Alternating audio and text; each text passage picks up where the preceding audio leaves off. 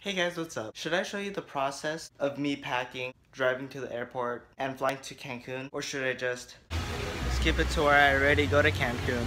Either way, I'm still gonna show you the montage.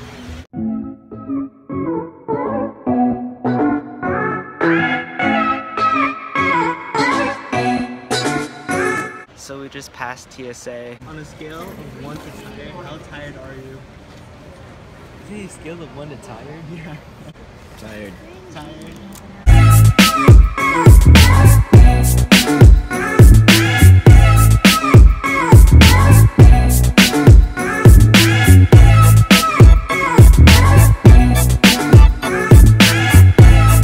So we just made it to Cancun. You want to say anything?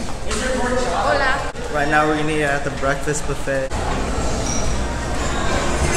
Dude, the beach is like so blue. Oh my gosh.